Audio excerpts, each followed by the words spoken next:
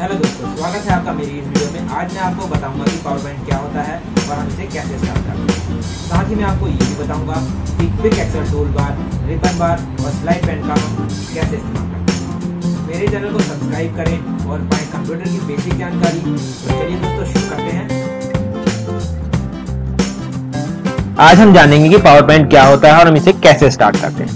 मैं आपको साथ ही ये भी बताऊँगा कि quick access tool bar ribbon bar और स्लाइड पेन का हम कैसे प्रयोग करते हैं। तो सबसे पहले जानते हैं कि पावर पॉइंट का हम कहाँ का इस्तेमाल करते हैं। तो पावर पॉइंट का इस्तेमाल सबसे ज़्यादा स्कूलों में ऑफ़िस में सेमिनार में प्रोजेक्ट को प्रेजेंट करने के लिए किया जाता है। तो हम जानते हैं पावर पॉइंट ओपन कैसे करते हैं। तो उसके लिए सबसे पहले आपको अपने स्टार्ट बटन या विंडो बटन पे जाना है।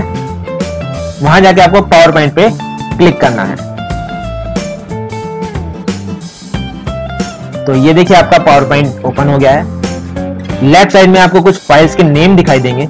नाम दिखाई देंगे। ये वो फाइल्स होती हैं जिन पे आपने पहले काम किया है। जिससे कि उन फाइलों को आपको ढूंढना नहीं पड़ेगा। वो आपको इजीली यहीं से अवेलेबल हो जाएँगे। उसके बाद राइट साइड में आप देखेंगे, यहाँ पे कुछ टेम्पलेट्स दिखा रहा है। प्री डिफाइंड टेम्पलेट्स होते हैं ये।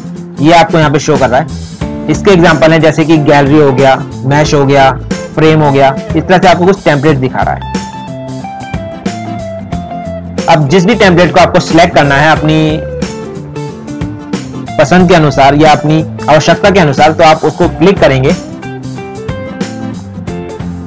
ये देखिए आपके सामने उसी टेम्पलेट के और कलर में भी आपको अवेलेबल है। आप अलग अलग कलर से आप क्रिएट कर सकते हैं। तो इसके लिए आपको उस टेम्पलेट को सिलेक्ट करना है और उसके बाद आपको क्रिएट पे क्लिक करना है। तो ये देखिए आपका टेम्पलेट बन गया है। तो ये तो है पहला तरीका आपके पावर पॉइंट में टेम्पलेट क्रिएट करने की। अब इसमें दूसरा तरीका क्या है? इसके लिए आपको क्या करना है? आपने टास्क बार में जाना है और सर्च पे लिखना है पावर पॉइंट तो ये देखिए, सबसे ऊपर आपका पावर पॉइंट लिखा हुआ आ गया है। अब या तो आप एंटर प्रेस कर दीजिए या अपने माउस से पावर पॉइंट पे क्लिक कर देंगे तो आपका ये पावर पॉइंट ओपन हो जाएगा। हम इसमें अभी ले रहे हैं ब्लैंक प्रेजेंटेशन पावर पॉइंट के टूल्स के बारे में जानने से पहले हम उसके इंटरफेस के बारे में जान लेते हैं। इससे हमें यह फ़ायदा मिलता है कि जब हमें इन टूल्स का इस्तेमाल करना हो तो हमें पता होगा कि कौन सा टूल कहाँ पर है। तो इस स्क्रीन में सबसे पहले आपको जो नज़र आ रहा है, वो है ऊपर आपका टाइटल बार टाइटल बार में आपको आपकी फ़ाइल का नाम दिखाई जिस नाम से आपने अपनी फ़ाइल सेव करी है, वो आपको टाइटल बार में नज़र आएगी।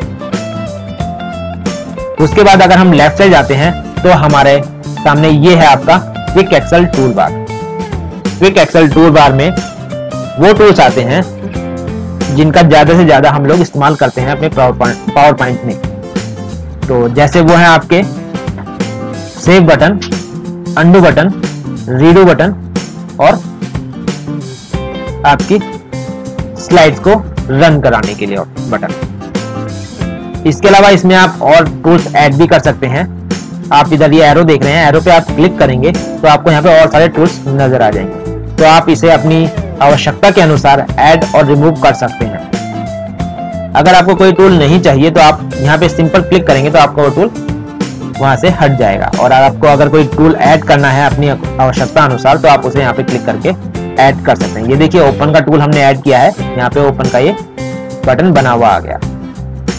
उसके बाद नीचे आपका ये है रिबन तो इसमें देखिए अलग अलग टैब्स नज़र आ रहे हैं आपको। पहला है आपका फ़ाइल टैब फिर home tab insert design animation slide show आदि। और हर टैब के अंदर अपने ब्लॉक्स हैं। तो जैसे कि देखिए होम टैब में है क्लिपबोर्ड स्लाइड्स फॉन्ट पैराग्राफ आदि। इंसर्ट में है आपके टेबल्स इमेजेस डिज़ाइन में है आपके।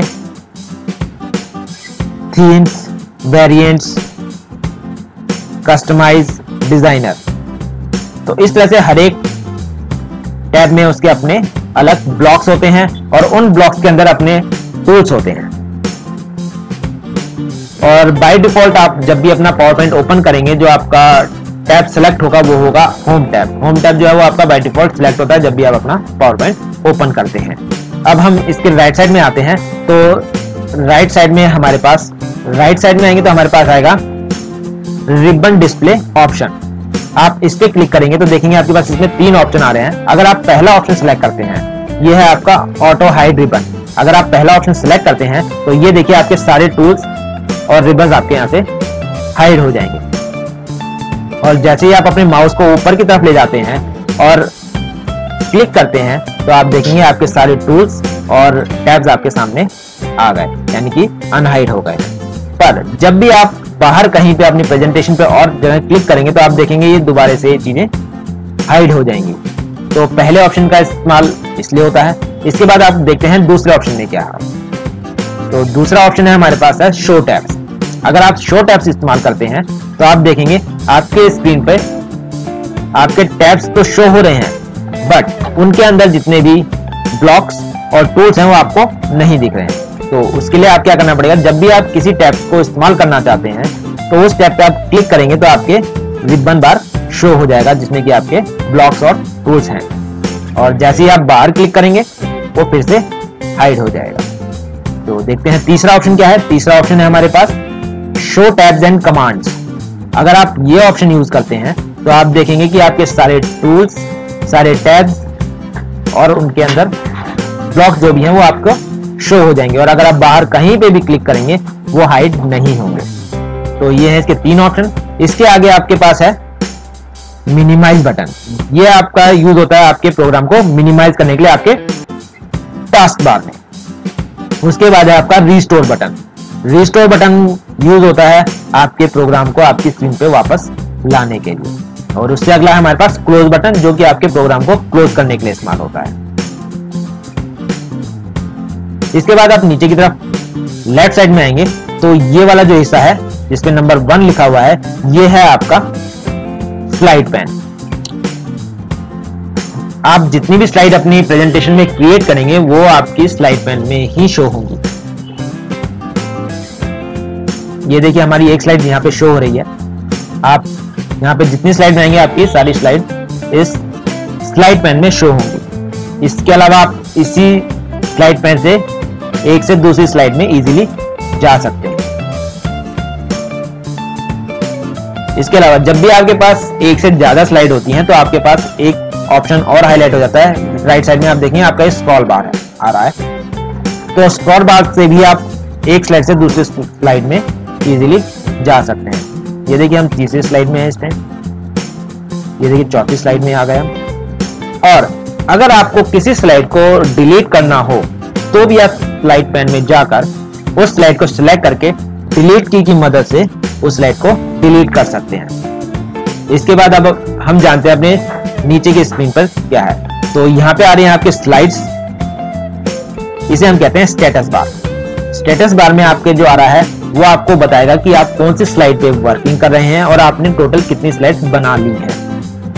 तो यहाँ पे ये आएगा।